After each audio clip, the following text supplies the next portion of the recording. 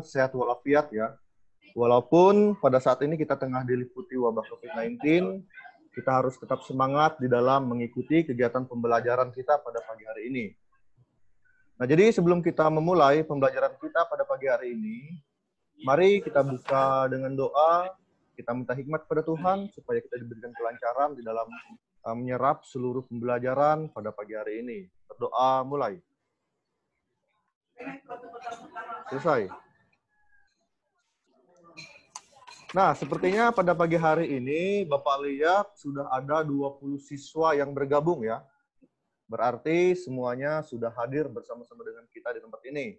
Nah, Bapak harap semuanya sudah siap mengikuti kegiatan pembelajaran pada pagi hari ini. Tetapi sebelumnya, eh, mari kita semua aktifkan videonya. Bapak mau mengajak kalian untuk menyanyikan salah satu lagu wajib nasional, di mana lagu wajib ini merupakan uh, salah satu lagu yang akan berkaitan dengan materi yang akan kita bahas pada kesempatan ini ya. Oke, tunggu sebentar.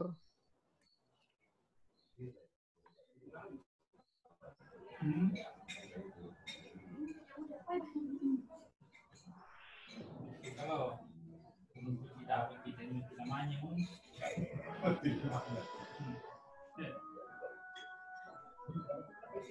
diikuti nyanyiannya dan dihayati dengan seksama ya.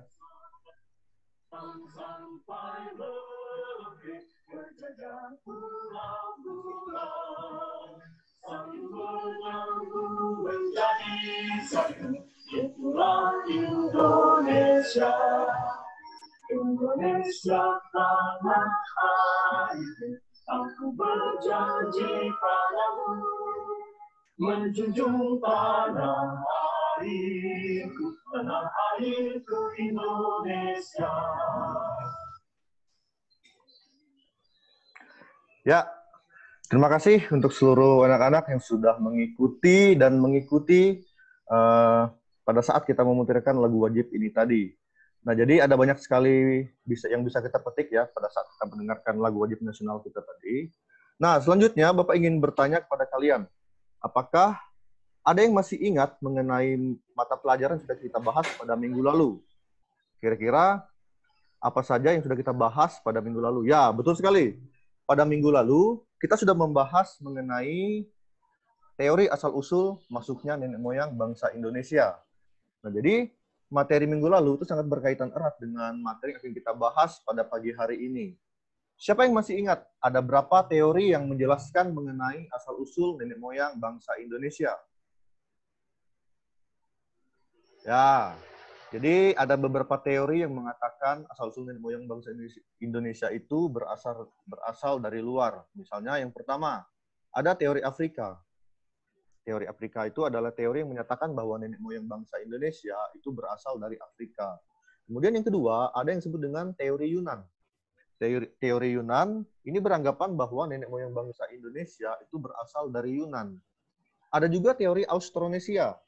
Teori Austronesia ini mengatakan bahwa nenek moyang bangsa Indonesia itu berasal dari wilayah Austronesia atau Asia Tenggara.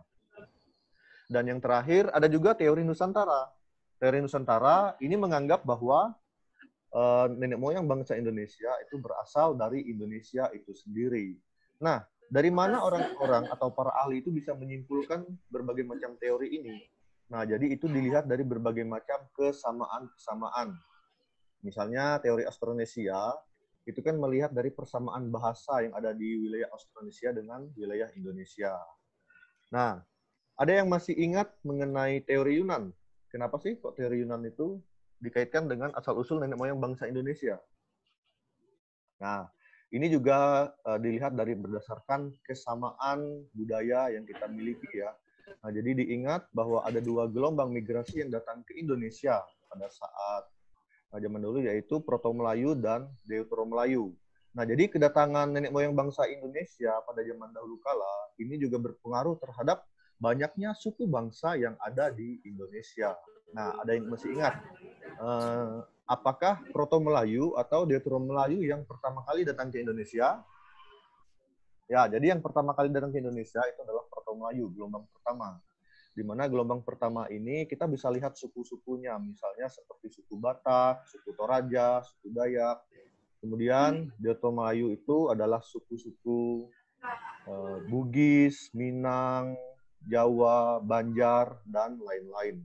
Eh, kita bisa melihat pembuktian ini dari di mana uh, hampir sebagian besar orang-orang Proto Melayu itu kan mengungsi ke wilayah daerah pedalaman seperti kita di Kalimantan ini rata-rata orang Dayak itu berada di wilayah pedalaman begitu juga dengan Toraja, Batak dan lain-lain. Nah, jadi itu adalah sekilas mengenai mata pelajaran yang sudah kita bahas pada minggu lalu mengenai asal-usul nenek moyang bangsa Indonesia di mana hal ini sangat berkaitan erat dengan teori yang akan kita mata pelajaran yang akan kita bahas yaitu perbedaan suku dan bangsa yang ada di Indonesia. Sebelum kita membahas mengenai materi ini, eh, kita lihat dulu apa sih yang menjadi tujuan pembelajaran dari eh, mata pelajaran atau yang akan kita pelajari pada pagi hari ini. Sebentar, Bapak akan menampilkan PowerPoint-nya. Ah, ini dia perbedaan suku bangsa.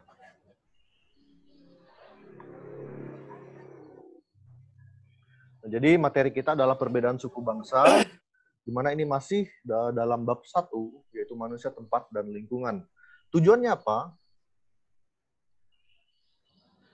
Tujuan yang pertama, diharapkan setelah kita mempelajari materi ini, siswa itu diharapkan mampu untuk menganalisis faktor-faktor yang menyebabkan perbedaan suku bangsa yang ada di Indonesia. Kemudian, tujuan yang kedua, di sini siswa diharapkan dapat menganalisis dampak positif dan dampak negatif dari perbedaan suku bangsa yang ada di Indonesia. Dan tujuan yang ketiga, eh, diharapkan siswa dapat menganalisis pengaruh perbedaan suku bangsa terhadap integrasi bangsa Indonesia. Nah, jadi untuk nilai KKM yang harus kalian capai dalam materi ini adalah 78. Jadi kalian harus bisa mencapai nilai ini untuk bisa lulus ya. Oke? Uh, dimengerti ya anak-anak semua. Nah, selanjutnya uh, Bapak sudah membagikan kalian kelompok di dalam Google Classroom kalian. Nanti silahkan dicek masing-masing. Uh, di Google Classroom itu Bapak sudah buat forum diskusi dan nanti kita akan masuk ke diskusinya. Tapi uh, sebelum kita masuk dalam diskusi kelompok kita, uh, Bapak akan menayangkan maaf ada gangguan sedikit. Nah, ini adalah peta konsep yang akan kita pelajari pada pagi hari ini ya. Lihat uh, di tayangan ini dimulai dari manusia, tempat dan lingkungan. Kemudian sub materinya adalah dinamika kependudukan Indonesia, di mana materi pokoknya adalah perbedaan suku bangsa. Jadi ada tiga hal penting yang akan kita pelajari, yaitu faktor-faktor yang menyebabkan perbedaan suku bangsa, kemudian dampak positif dan negatif dari perbedaan suku bangsa, dan pengaruh perbedaan suku bangsa terhadap integrasi bangsa Indonesia. Nah, oke, okay. Eh, apakah semuanya masih semangat? Ya, Bapak harap uh, semuanya tetap bersemangat uh, mengikuti kegiatan pembelajaran ini ya, walaupun semuanya belajar dari rumah ini tidak akan uh, menyurutkan semangat kita di dalam mengikuti kegiatan pembelajaran pada pagi hari ini. Nah, apakah gambarnya sudah terlihat?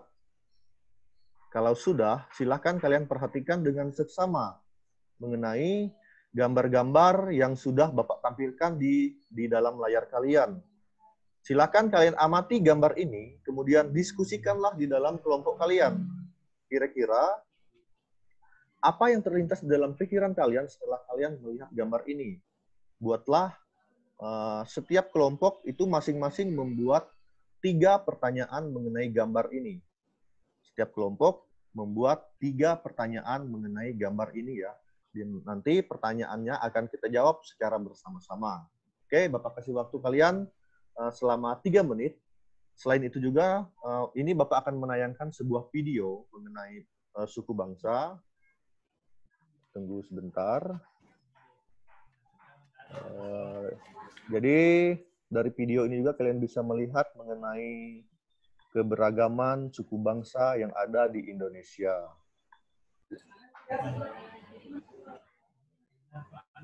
Silakan kalian amati dengan seksama eh, mengenai kekayaan suku bangsa yang kita miliki ya.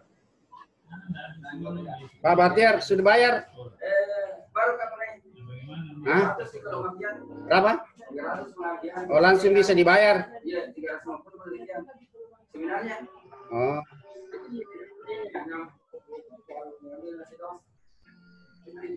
Nah, ini dia. Kita lihat keragaman suku bangsa yang ada di Indonesia. Apakah suaranya muncul? Nah, silakan sambil Bukan, kalian membuat pertanyaan ya, sambil kalian mengisi. Bisa kayaknya tenang dulu. Foto-foto tuh. jangan bisa foto-foto. Lima menit gitu kayaknya. Nah, ini dia. Salah satu kekayaan dari suku yang ada di Indonesia. Sama Pak Wayang, Pak. milik Jawa. Muka sampai sini. Anak, kejar lagi. Hah? Anu udah pernah kebenceran. Ari Saman dari Aceh. Tampil itu. Masa? Tunggu. Nggak harus itu didatangi.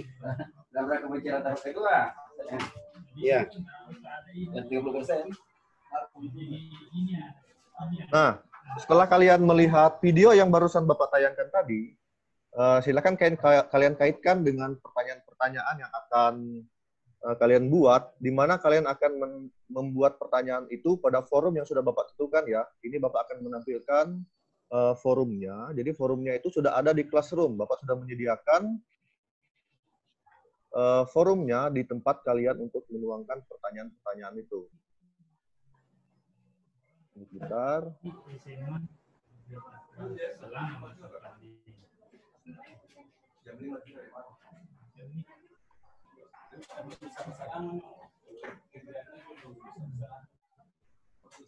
Nah, jadi silakan kalian tuangkan pertanyaan kalian di sini, di forum ini. Tinggal kalian tuliskan saja.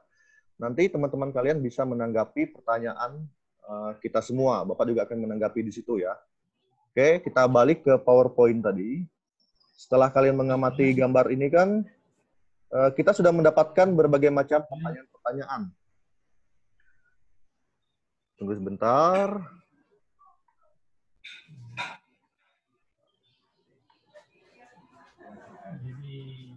Kita sudah mendapatkan berbagai macam pertanyaan. Kemudian, ini adalah tugas yang harus kalian diskusikan di dalam kelompok kalian. Tadi kelompok satu uh, sudah Bapak bagikan. Silakan silakan kalian diskusikan mengenai faktor-faktor yang menyebabkan perbedaan suku bangsa. Ini adalah kelompok satu. Kemudian kelompok dua, uh, silakan kalian diskusikan mengenai dampak negatif dan positif dari perbedaan suku bangsa. Dan kelompok tiga itu mengenai perbedaan suku bangsa terhadap integrasi bangsa Indonesia. Silakan kalian baca dan mencari dari sumber-sumber lain yang relevan dengan materi ini. Untuk materinya, Bapak sudah menyediakan di Google Classroom. Nanti Bapak akan perlihatkan di mana kalian bisa mendownload materinya. Eh, kemudian kalian juga bisa mencari dari sumber-sumber lain ya. Tunggu sebentar.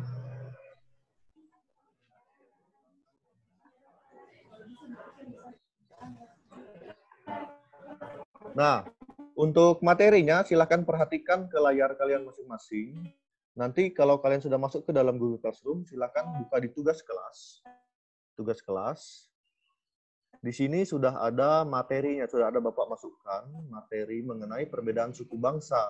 Ada di bahan ajar ini. Nah, tinggal kalian download saja, silakan kalian pelajari, dan sesuaikan dengan tugasnya masing-masing. Tadi diingat, kelompok satu adalah pengaruh perbedaan suku bangsa terhadap Indonesia. Eh, eh, maaf, kelompok satu adalah faktor-faktor yang menyebabkan perbedaan suku bangsa. Kelompok dua, dampak negatif dan dampak positif dari perbedaan suku bangsa. Dan kelompok yang ketiga adalah pengaruh perbedaan suku bangsa. Di mana kalian menuangkan hasil diskusi kalian, silahkan kalian tuangkan hasil diskusi kalian di forum yang sudah Bapak sediakan ini. Semuanya bisa melihat ya di layar tampilan kalian. Untuk faktor-faktor, silakan kalian langsung diskusikan di sini.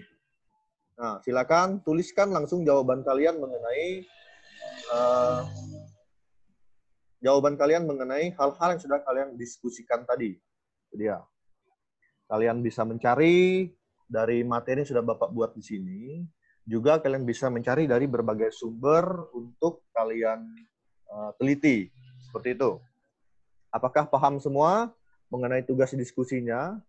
Kalau paham, Bapak berikan waktu selama 15 menit, silakan kalian berdiskusi dan uh, akan menuangkan jawabannya yang di pada forum yang sudah Bapak siapkan ini ya. Ya.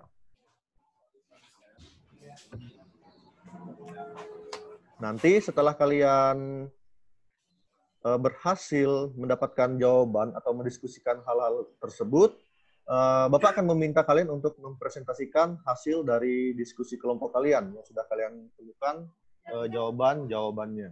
Nanti kita akan bahas secara bersama-sama. Oke, Bapak harap semuanya paham ya.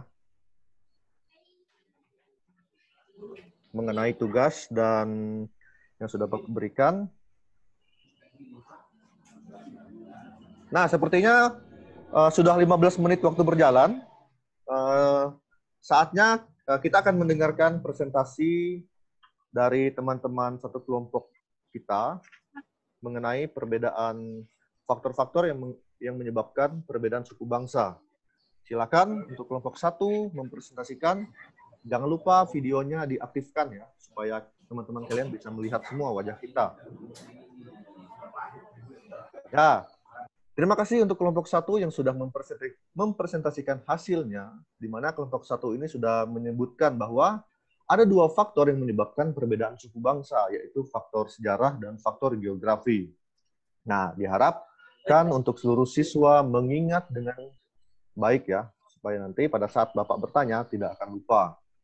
Kemudian yang ke kelompok dua, silakan Bapak akan memberikan kesempatan kepada kelompok dua untuk mendiskusikan hasilnya.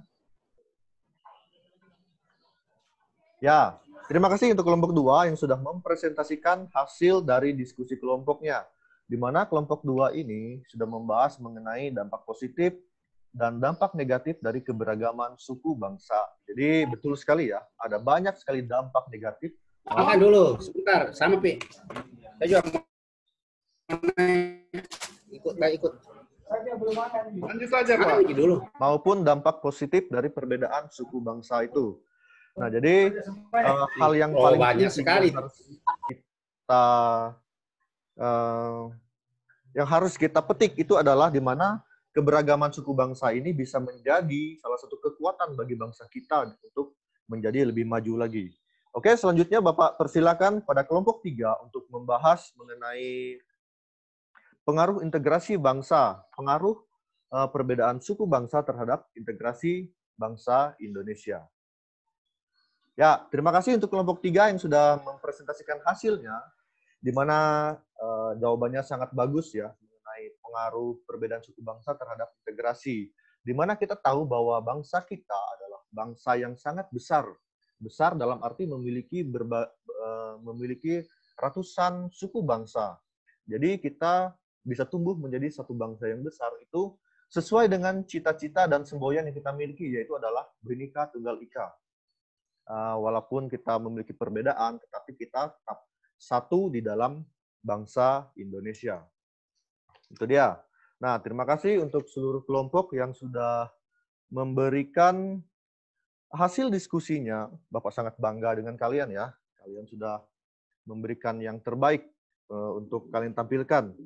Selanjutnya, uh, kira-kira Bapak akan bertanya kepada kalian, hal apa yang bisa kalian simpulkan setelah uh, kita mempelajari seluruh materi pada pagi hari ini?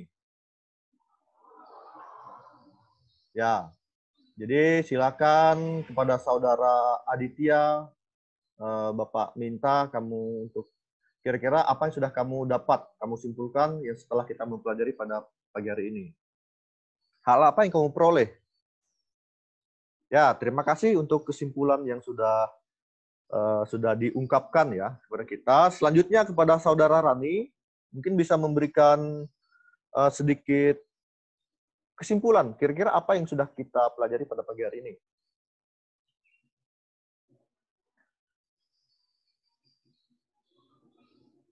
Ya, terima kasih. Betul sekali ya. Uh, jadi kesimpulan pelajaran kita pada pagi hari ini mengenai perbedaan suku bangsa itu adalah di mana kita tuh harus bersyukur dianugerahi dengan berbagai macam suku dan bangsa. Contohnya saja, kita di kelas ini kita di kelas ini eh, memiliki dua suku mayoritas. Ada yang suku Jawa, ada suku Dayak, di mana eh, kedua suku yang merupakan mayoritas ini adalah yang saling menghargai satu dengan yang lain ya. Kita tidak pernah berselisih satu sama lain, saling menerima tradisi budaya dari masing-masing suku, di mana kita bisa saling menghargai satu sama lainnya. Itu dia. Jadi perbedaan suku bangsa ini jangan dijadikan sebagai masalah, tapi kita harus menjadikan sebagai kekuatan di dalam uh, kita uh, mencapai tujuan bangsa kita. Itu dia. Nah, selanjutnya uh, silakan kalian membuat sebuah resume, resume dan refleksi. Buat refleksi ini di Google Classroom tadi. Nanti silakan kalian buat uh, pada topik yang sudah Bapak sediakan itu mengenai Google apa? mengenai kelas mengenai perbedaan suku bangsa, refleksi yang sudah kita pelajari pada pagi hari ini. Forumnya uh, forumnya itu ada di di Google Classroom. Tuh. Oke, diingat refleksi wajib untuk setiap siswa. Tuh ya. Nah, selanjutnya Eh, minggu depan kita akan mempelajari mengenai fungsi dan peran mengenai perbedaan suku eh, fungsi dan peran tentang keberagaman suku bangsa. Silahkan kalian pelajari di rumah mengenai materi ini supaya nanti pada saat kita bertemu pada minggu depan semuanya sudah siap. Tapi sebelum eh, Bapak menutup ini, Bapak akan mengirimkan link untuk kalian eh, tugas untuk kalian kerjakan di rumah mengenai ini. Jadi linknya ini ada di Google Classroom. Bapak akan eh, Bapak akan memperlihatkan ya. Sebentar. Linknya ada di Google Classroom, di mana kita mengerjakannya melalui Google Form. Ya. Eh, maaf, salah. Bukan ini ya.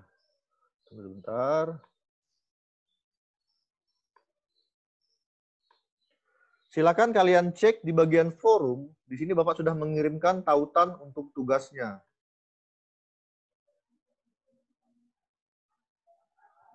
Nah, ini dia. Ini adalah tugas evaluasi yang akan kalian buat di rumah. Silakan kalian kerjakan. Caranya bagaimana? Tinggal diklik saja link ini. Tinggal diklik. Kemudian akan muncul pertanyaan-pertanyaan. Ini dia. Silakan isi nama, kelas, mata pelajaran. Ini adalah pertanyaan-pertanyaannya. Silakan kalian pilih jawaban yang paling kalian anggap benar. Nanti uh, hasilnya langsung kalian lihat setelah kalian selesai mengerjakan ini di mana poin setiap soal ini ada 20. 20 poin untuk setiap soal. Tuh, paham ya? Bapak harap paham untuk uh, tugas yang Bapak berikan. Nah, jadi uh, demikianlah pembelajaran kita pada pagi hari ini. Bapak ucapkan terima kasih untuk uh, perhatian dari anak-anak semua yang sudah sangat antusias dalam mengikuti kegiatan pembelajaran ini juga untuk setiap kelompok yang sudah bisa mempresentasikan hasilnya hasil diskusinya dengan sangat baik. Oke. Jadi sebelum kita menutup pelajaran kita pada pagi hari ini, kita berdoa menurut agama dan kepercayaan kita masing-masing. Uh, Bapak akan kita berdoa menurut agama kepercayaan kita masing-masing ya. Berdoa mulai. Berdoa selesai. Ya. Silakan pulang hati-hati di jalan. Sudah, Pak. Belum, belum, belum. Ya, hati-hati hati-hati di jalan. Uh, kita sampai bertemu minggu depan. Oke. Selamat siang. Selamat siang. Ya, Pak. Oke, Pak Haji. Ya, bisa saya duluan. Ya, Ya, Pak. silakan. Ya, oke.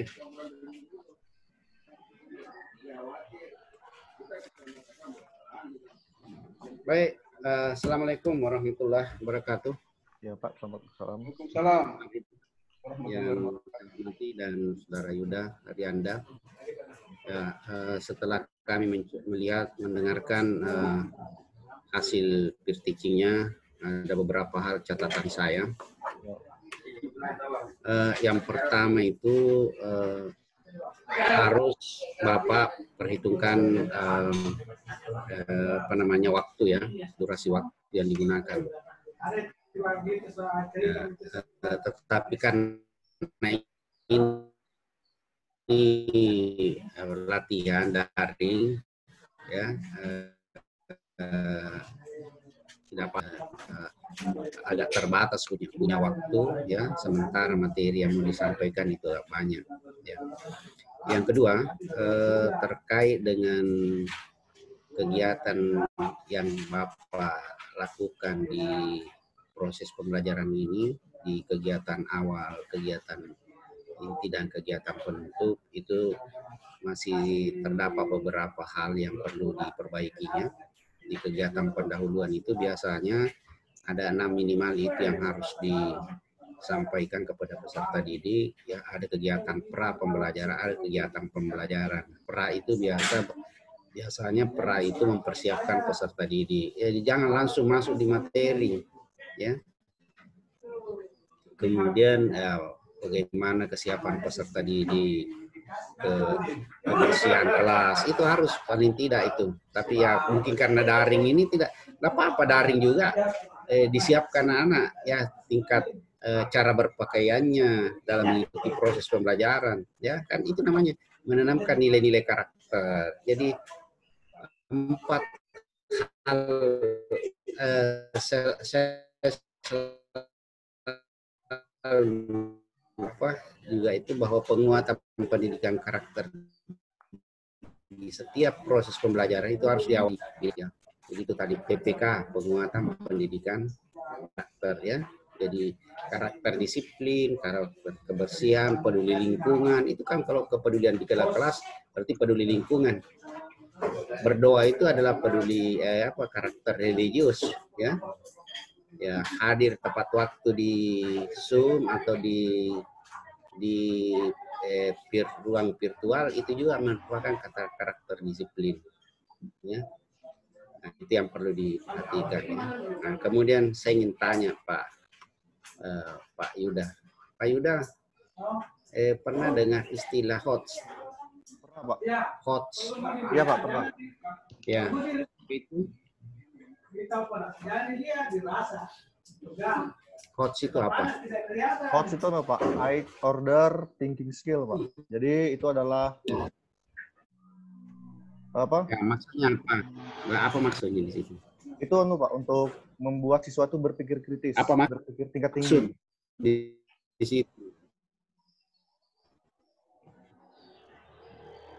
Mem- Ah, itu membuat peserta didik agar untuk berpikir eh, tingkat tinggi. pembelajaran itu mampu berpikir tingkat tinggi ya.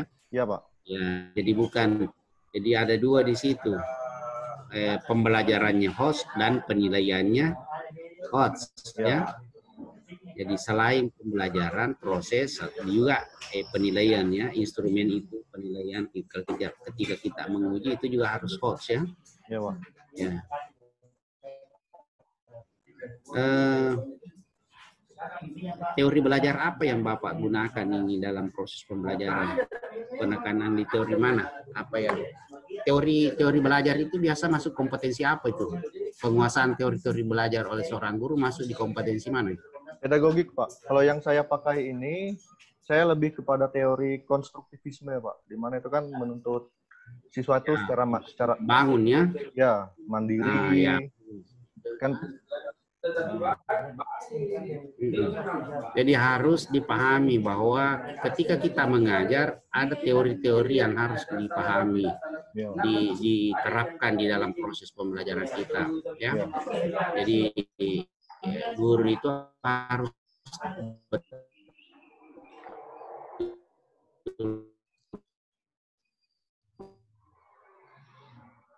betul memahami eh, nah, jadi masuk dalam kompetensi pedagogik. ya, Pak. Kalau TPACK-nya apa? TPACK TPACK-nya itu Pak anu untuk apa teknologi yang 4.0 itu Pak. Kalau yang Ya. saya tampilkan tadi misalnya seperti Google Classroom, terus Google Form, via Zoom itu kan sudah menunjukkan TPACK-nya Pak. Ya, betul. Jadi eh, proses pembelajarannya itu harus berbasis teknologi ya, eh, Iya, pedagogiknya teknologi. Ya, Itu kan tadi sudah di- di- ditampilkan oleh Pak Yuda ya. Sudah Iya, Pak. Ya. Eh, yang terakhir Pak Yuda, kalau saya eh, di mana titik perubahan eh, eh, eh, eh, apa eh, perubahan tadi dilakukan. Penekanan di mana perubahan sikapnya pengetahuannya dan keterampilannya. Ya Pak, bisa pada saat Pak? kapan dia me- mencoba coba melihat ada oh ini penekanan saya perubahan sikap ini pengetahuan ini keterampilan. Di mana Kalau yang perubahan sikap itu mungkin pada saat eh, awal Pak, misalnya pada saat mereka berdoa, sikapnya seperti apa, seperti itu. Kemudian untuk enggak di dalam kegiatan pembelajaran. Ya oke lah berdoa apalagi? Nah, kemudian dari dan segi, materi? pada saat mereka melakukan diskusi itu Pak mungkin? Seperti itu. ya sikap di situ kerjasama ya. Ya kerjasama, kemudian Ya. pada saat mereka mengerjakan tugas kan apakah mereka jujur atau tidak seperti itu. Nah, kalau keterampilan keterampilannya tadi eh, pada saat mereka mempresentasikan hasilnya, Pak. Mempresentasikan hasil Oh, ya. diskusi mereka. Itu kan kita bisa me- melihat keterampilan Ya, berkomunikasi. misalnya peserta tadi itu terampil me- menggunakan medianya ya terampil di dalam hal penggunaan media terampil dalam berdiskusi dan sebagainya Iya. Jadi saya kira eh, pertanyaan-pertanyaan inilah yang eh, sesungguhnya menjadi perhatian juga buat Pak Yuda. Jadi saya bertanya ini terkait dengan eh, yang seharusnya dilakukan oleh guru itu seperti itu pertanyaan ya. Jadi Pak. apa yang saya tanyakan itu itulah menjadi perhatian bagi guru untuk bisa dilaksanakan dengan baik di dalam proses pembelajaran. Iya, Pak. Baik Pak Ridwan, eh, mungkin Pak Ridwan akan menyelesaikan secara detail pertanyaan-pertanyaannya lagi, kemudian Pak Ridwan yang sendiri langsung menutup kegiatan. ini. Ya. Makasih, Pak. Oke Pak Ridwan, ya. Siap. Oke, Pak. Siap. Nah, selamat ya. Oke. Oke, oke. Baik, Pak Yuda, saya lanjutkan pertanyaan-pertanyaan dari Pak eh, Dr. Mustari tadi. Ya, Pak. Ya, di RPP Anda ini kan Anda eh, menyebutkan model pembelajaran itu discovery learning ya. Ya, Pak.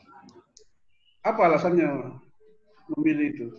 Alasan saya memilih ini, Pak, ini kan sesuai dengan teori belajar yang sudah saya pilih, Pak, yaitu teori konstruktivisme, di mana eh, menurut Hmm. saya teori apa metode discovery learning ini, ini kan ada enam tahap itu, Pak, yang harus dilalui Hmm. anak-anak itu kan, di mana pada setiap tahapnya itu itu sudah menuntut anak-anak untuk mandiri, di mana mereka menyelesaikan masalahnya sendiri, kemudian mereka ber- ber- berusaha untuk mencari solusi terhadap permasalahan mereka. Ini kan sesuai dengan eh, teori belajar yang saya pilih, yaitu teori konstruktivisme, Pak.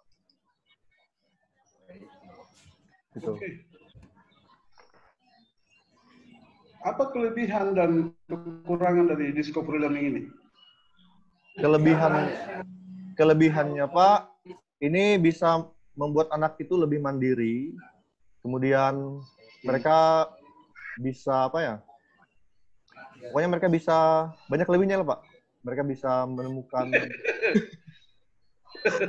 Banyak gimana, Pak? kekurangan dulu ya, Pak, kekurangan dulu. Oh, kekurangan dulu. Oke, Ya. silakan. Kalau kekurangannya Pak, discovery learning ini sebenarnya kalau untuk waktu yang singkat itu sangat kurang, Kur- uh, kurang baik untuk diterapkan uh, untuk waktu yang singkat dan juga untuk jumlah siswa yang banyak. Menurut saya di situ Pak kurangnya. Itu. Kalau kelebihannya yaitu dia Pak bisa membuat siswa menjadi lebih mandiri. Eh, ini juga akan berpengaruh di mana mereka bisa menjadi lebih kritis dalam berpikir, Pak. Karena mereka kan berusaha untuk mencari dan menyelesaikan masalah secara mandiri. Jadi guru itu hanya berperan sebagai apa? Sebagai fasilitator, Pak. Guru sebagai Iya. damping. Gitu.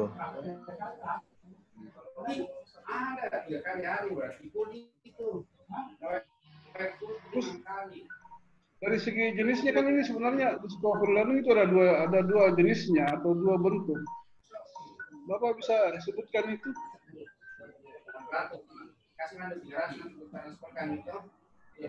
Maksudnya Pak gimana Pak? Ada dua jenis disco- discovery learning itu. Jenis satu bentuknya ada dua. Oh. Ya? Bisa Anda sebutkan dua-duanya?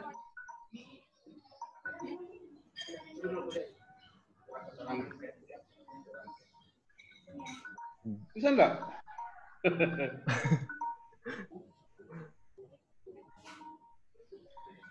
Ada yang disebut dengan guide eh, discovery.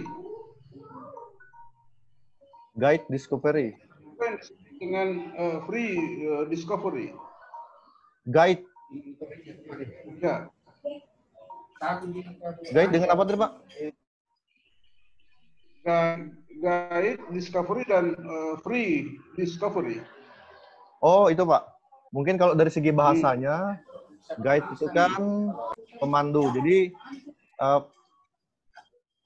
pembelajaran yang dipandu Pak, dipandu guru. Kemudian satunya dia bebas. Itu itu Pak. dari dari makna guide dan free ya. Iya Pak. Kalau yang free itu kan berarti eh, Ya. kalau guide itu dia, dia lebih terarah Pak. Langsung oleh guru. Ya. Jadi eh, di guide discovery itu eh, guru di situ berfungsi membimbing ya, Iya. memberikan arahan apa-apa aktivitas yang harus dilakukan oleh siswa. Sementara kalau eh, free discovery, nah di situ eh, siswa sendiri yang secara mandiri atau bebas eh, melakukan proses penemuan penemuan Iya. apa yang ditugaskan oleh seorang guru. Iya Pak. Berarti punya saya tadi lebih kepada guide Pak. Guide discovery. Ya, ya. Ya. Tadi yang bapak sampaikan itu eh, arahnya lebih banyak ke guide ya. Iya. Karena guru eh, menuntun, Iya. memberikan bimbingan, arahan, langkah-langkah apa yang akan dilakukan oleh guru. Iya Pak. Oke. Selanjutnya, eh, coba Pak jelaskan eh, apa itu critical thinking. Critical thinking itu berpikir kritis Pak. Hmm. Ya. Jadi berpikir berbeda dari berpikir yang biasa. Intinya anak-anak itu dituntut untuk berpikir lebih. Lebih bisa Apa? mengkritisi sesuatu. Apanya? Apanya mau dikritisi? Bagaimana bentuknya itu? Untuk untuk eh, melihat bahwa oh, siswa ini sudah memiliki kemampuan berpikir kritis. Misalnya kan Seorang Pak, guru harus melihat itu. ya, misalkan dari segi mengamati gambar tadi Pak. Dari Oke. segi mengamati gambar, misalnya saya ambil Hmm. contoh ada dua gambar. Hmm. Nah, nanti uh, saya meminta kepada anak tersebut untuk membandingkan kedua gambar tersebut, Pak. Misalkan ada suku bangsa kan. Uh, saya ambil contoh karena di tempat saya kan mayoritas suku Jawa dan suku Dayak. Kan? Jadi nanti diminta anak-anak itu untuk uh, membuat sebuah pertanyaan mengenai kedua suku bangsa tersebut kan. Misalnya, kenapa sih kok Ya. bisa ada perbedaan yang sangat besar antara kebudayaan suku Dayak dan suku Jawa itu kan sudah membuat anak-anak berpikir, Pak. gitu ya. Ya, berpikir. Kemudian eh, apa lagi? Satu kreatif creativity thinking gimana itu?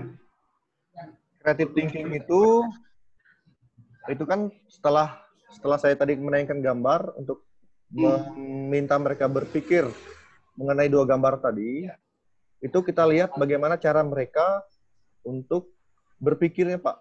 Ber, berkre- berkreasi, berkreatif.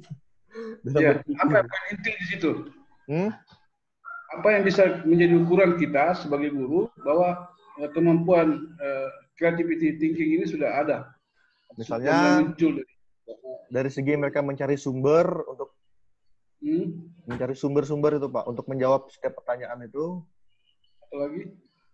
eh, itu Pak dari segi mereka mencari sumber untuk pertanyaan sudah disajikan tadi kan kemudian dari segi mereka mengungkapkan juga bisa Pak mungkin Ya. Ya, Apalagi mengungkapkan apa yang mereka pikirkan itu Pak, yang mereka pikir. Kemudian mereka ungkapkan secara dengan secara kreatif lah seperti itu. apa sih eh, yang paling poin paling penting kita bisa melihat bahwa siswa ini sudah eh, mempunyai kemampuan berpikir kreatif itu.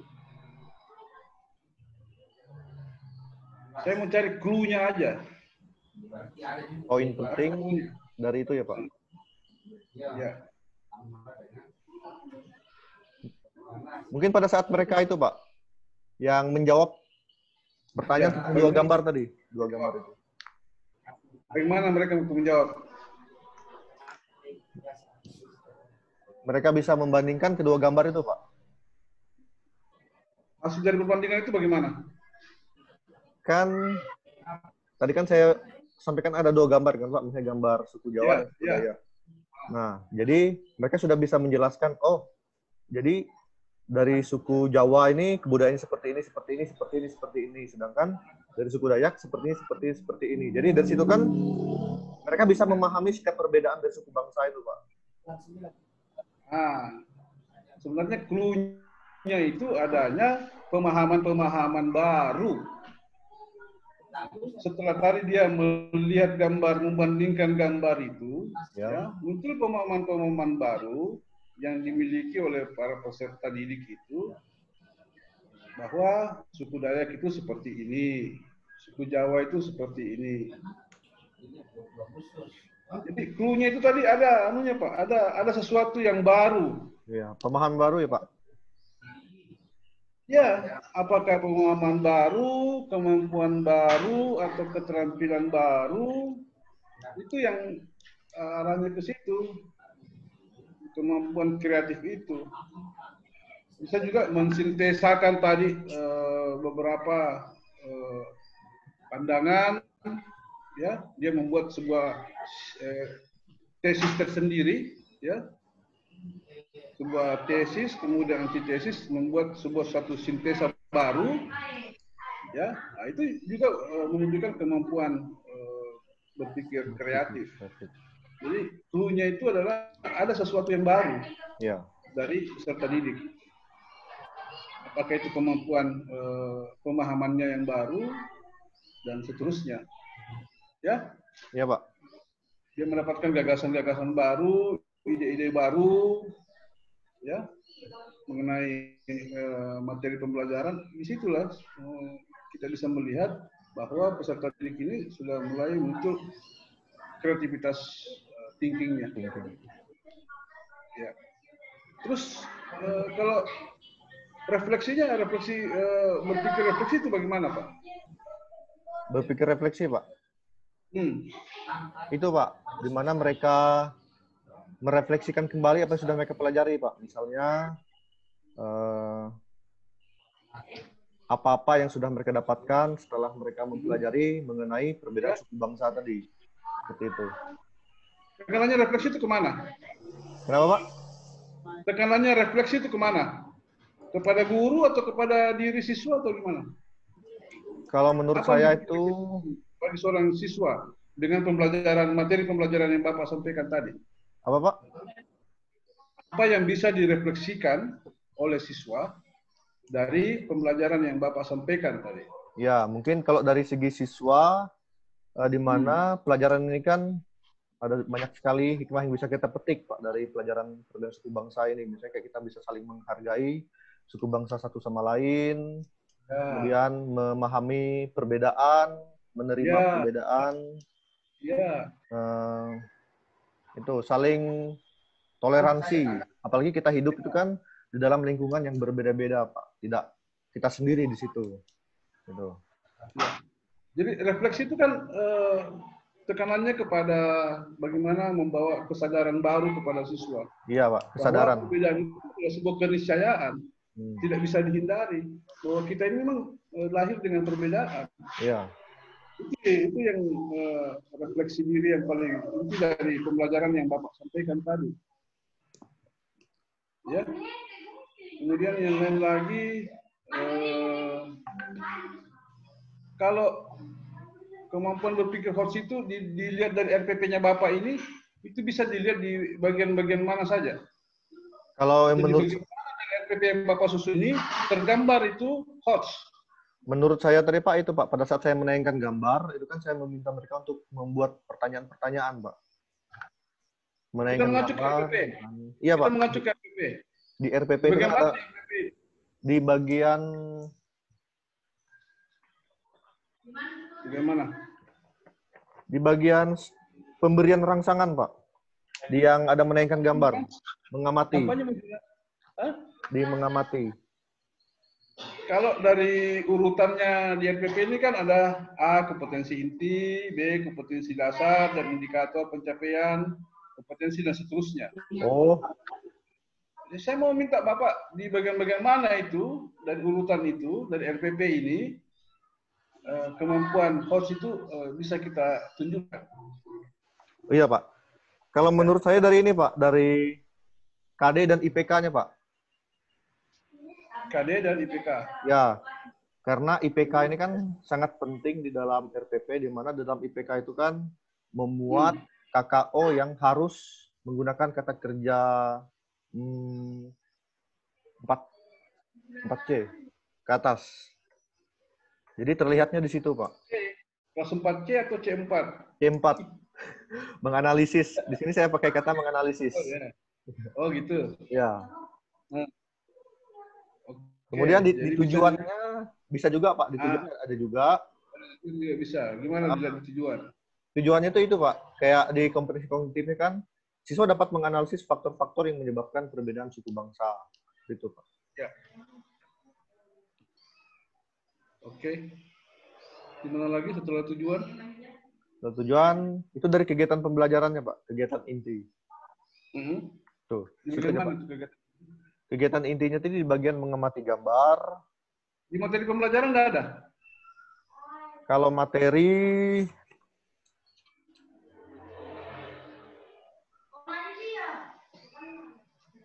Kalau untuk RPP, karena di RPP ini kan materinya tidak terlalu luas, Pak. Jadi mungkin iya.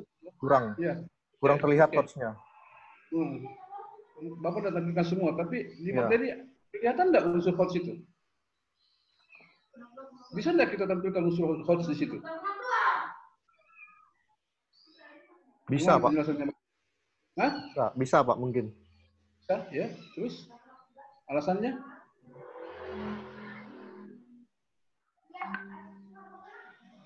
Bisa bagaimana? Bisa, di- bisa ditampilkan? Ya? dari materi ini, Pak, di mana letak unsur hots-nya. Hmm. Bagaimana Pak, Bapak menjelaskan, tunjukkan, memberikan saya keyakinan bahwa di materi pembelajaran itu ada unsur hots di situ. High order thinking skill.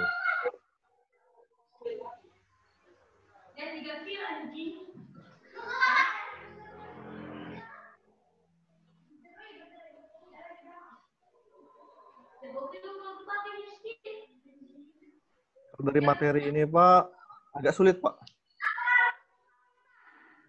Agak sulit. Unsur Jadi pada saat Bapak menjelaskan, Iya. menjelaskan materi ini, Bapak kan mem- memberikan eh, eh, apa penyampaian awal bahwa tolong Anda perhatikan baik-baik ini Hmm. karena kita akan melakukan saya minta sebentar Anda akan menganalisis materi ini dari dari eh, materi ini Anda akan eh, apa lagi eh, diminta untuk membuat sebuah analisis, membuat kesimpulan, membuat resume dan seterusnya. Jadi di materi pembelajaran juga harus kelihatan Pak ya? Iya, Pak. Situ. Oke. Setelah itu di mana lagi? Di langkah-langkah pembelajaran ada ya? Ada, Pak. Terus seperti- di penilaiannya, Pak. Oh ya, bagaimana di penilaian? Di penilaian itu, eh, dari segi pertanyaannya, Pak, itu harus eh, yang unsur hots. Kalau misalnya pertanyaannya sekedar menyebutkan, itu kan masih kategori lots. Menyebutkan, menjelaskan, itu belum. Hmm. Tapi pertanyaan itu harus yang membuat siswa itu berpikir lebih kritis tentang pertanyaan itu. Jadi itu Pak. Gitu ya. Ya. Jadi eh, unsur OSI ini di dalam RPP itu harus masuk tadi di poin-poin itu tadi Pak. Mulai dari kompetensi dasar, IPK-nya, di tujuan pembelajaran, di materi, di langkah-langkah pembelajaran, sampai di eh, evaluasi. Evaluasi. Iya. Jadi memang itu yang bikin beda eh, RPP RPP kita saat ini dengan RPP yang sebelum-sebelumnya. Karena unsur hots itu harus eh, nyata bisa terlihat dalam eh, RPP yang kita susun. Artinya guru paham, Ya. ya kita sebagai guru paham bahwa eh, di tahapan RPP ini unsur-unsur hots itu harus ada dan harus masuk. Itu yang, eh, yang menjadi poin yang penting Pak dari RPP itu. Ya Pak. Yang membedakan dengan RPP-RPP yang sebelumnya. Baik itu begitu juga di teknik penilaian dan pokoknya di semua eh, bagian-bagian dari RPP ini harus menggambarkan unsur hot study. Saya kira untuk dari saya seperti itu Pak Yuda. Ya Pak. Pak Yuda sudah cukup tampil dengan semangat 45. Ya Pak. Terima kasih Pak. Ya, jadi saya kira demikian dulu. ya. Selamat buat Pak Yuda. Ya Pak. Kita akan ketemu lagi di lain kesempatan. Pak. Ya Pak. Terima kasih Pak untuk masukan-masukannya Pak. Eh, ya, mari Pak Yuda. Selamat siang. Ya Pak. Selamat siang. Pak Haji. Pak Hajinya sudah live kayaknya. Boleh keluar Kak Pak? Oke, silakan. Oke Pak. Makasih Pak. Selamat Ya, siang. ditutup dulu anunya. Eh, apanya? Rekamannya tadi sudah di stop.